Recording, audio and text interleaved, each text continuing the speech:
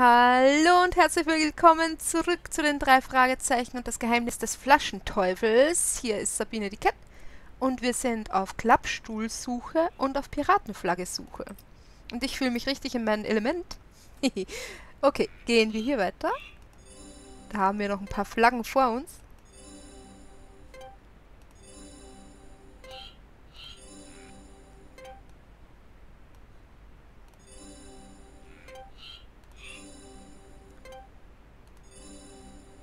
Naja, ein paar haben wir ja schon gefunden.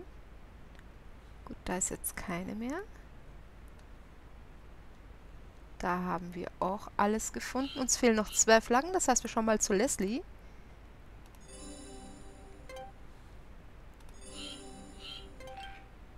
So, 18 haben wir. Ich kann hier nicht weg. Schließlich muss ich für meine Kundschaft da sein. Alles klar. Die Schiffsglocke ist eine Leihgabe. Wenn sie meinem Chef so gut gefällt wie mir, schwatzen wir sie den Literaten ab. okay. Dann gehen wir wieder zurück und geben ihm die Flaggen. Besser gesagt, wir müssen die in die Kiste legen. Spaß mit Flaggen. Welche sind doppelt? So, wir spielen jetzt Memory und gleichzeitig kriegen wir dann die Geschichte von den Flaggen erzählt.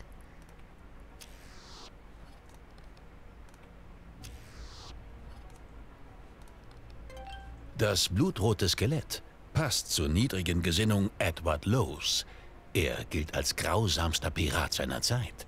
Bevor er seine Opfer umbrachte, nahm er ihnen Lippen, Nase und Ohren. Jack Rackham.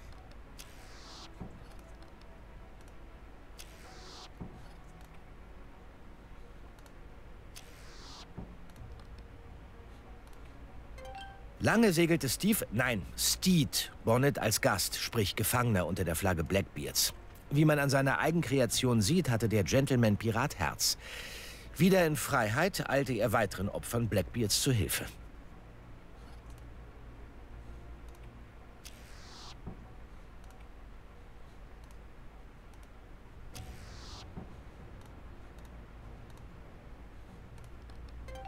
Eine Sanduhr darzustellen war beliebt, auch bei Christopher Moody.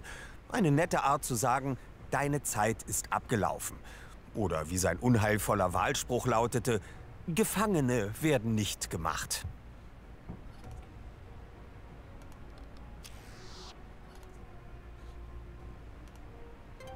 Jack Rackham ließ statt Knochen lieber Säbel kreuzen. Man nannte ihn auch Calico Jack, nach seiner farbenfrohen Baumwollkleidung. Ihm zur Seite standen zwei unerschrockene Frauen, Anne Bonny und Mary Reed.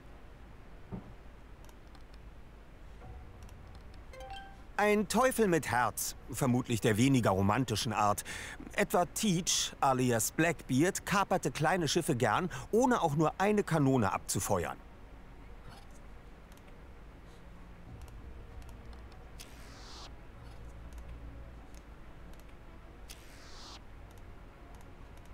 Lange kein Memory gespielt. okay, nochmal von vorne. Wir haben hier das Kopftuch. Hier. Ein Totenkopf mit modischem Schick. Der gehörte zu Henry Avery, Spitzname der Erzpirat. Er soll Sklavenhändler gewesen sein, Meuterer, Flottenführer. Er scheute keinen Angriff. Als sich das Blatt wendete, musste er seinen Namen ändern. Viele seiner Männer landeten am Galgen, doch seine Spur verlor sich in Irland.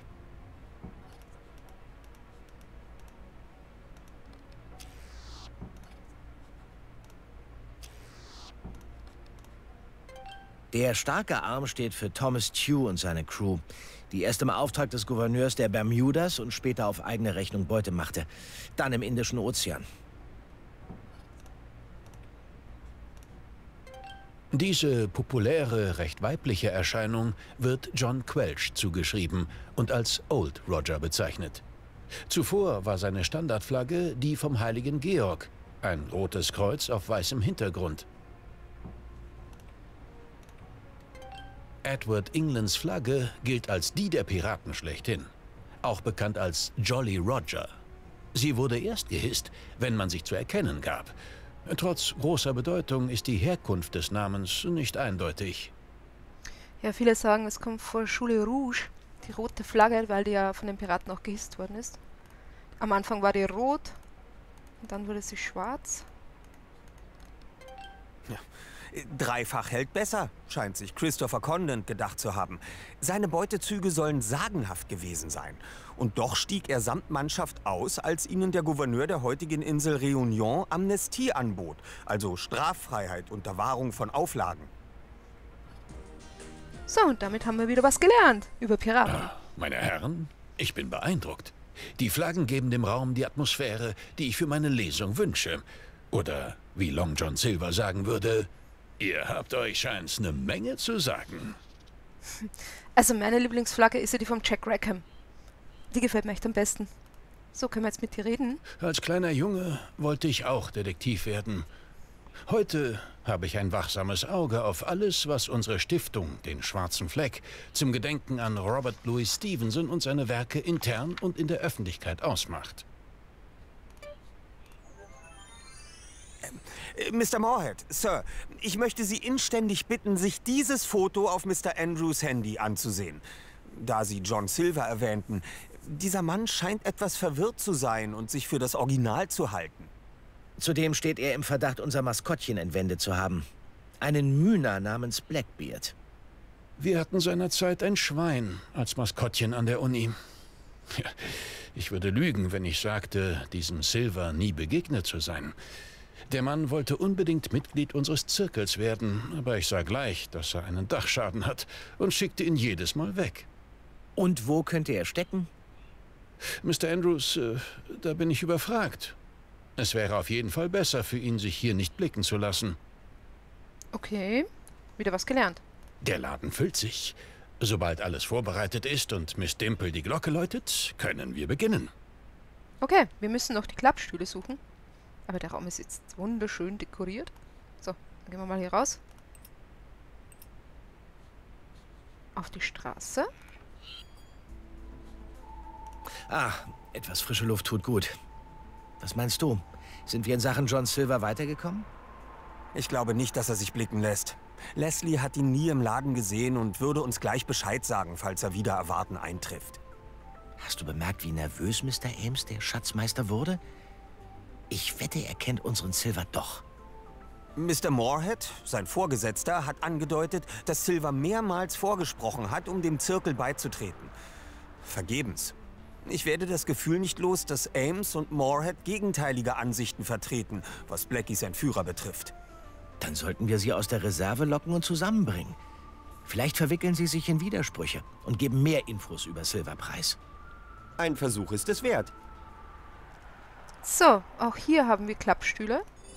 Drei Stück an der Zahl.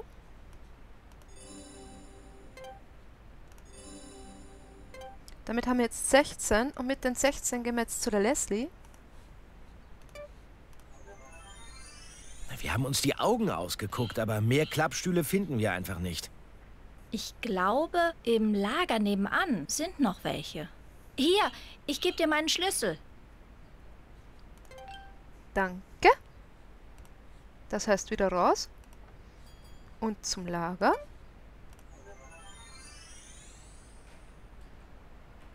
Äh, mach mal Licht, Bob. So, heute gibt es kein Skelett hier. Stattdessen ein paar Bücher. Der seltsame Knall des Dr. Tackle und Mr. Bite das Dackeldrama eines schottischen Terriers nach Motiven des fast gleichnamigen Roma Romans von Robert Louis Stevenson. Dann haben wir hier einen Klappstuhl. Machen wir nochmal Licht. Hier sind zwei Klappstühle. Drehen uns ein bisschen nach rechts, da können wir rüberflutschen. Und da oben, ganz oben am Haufen, haben wir jetzt insgesamt 20 Klappstühle. Gehen wir nochmal zu Leslie. Zeigen hier unsere Ausbeute. Wir haben uns die Augen ausgeguckt, aber mehr Klappstühle finden wir einfach nicht. Ich frage mal bei Antonio nach. Schließlich habe ich ihn auf Kurzwahl. Ciao, Antonio. Äh, Leslie äh, von Booksmith. Du hast mir neulich angeboten, mir notfalls mit Klappstühlen auszuhelfen. No, besser als gar nichts. Grazie. Antonia hat gerade keine Zeit, aber seine Bambini gebeten, für uns ein paar Klappstühle rauszustellen. Ich hoffe, die kleinen Racker machen das ordentlich. So, dann schauen wir mal, was die kleinen Bambini hier alles aufführen. Da haben wir schon mal einen. Kinder lachen sich schon tot da hinten. So, und da steht auch noch einer. Somit haben wir alle Klappstühle beisammen. Und ich würde sagen, an dieser Stelle mache ich wieder eine kurze Pause. Ich bedanke mich vielmals fürs Zuschauen. Hoffe, es hat euch gefallen. Wenn es euch gefallen hat, vergesst nicht zu abonnieren und zu liken. Mehr gibt's beim nächsten Mal. Tschüss.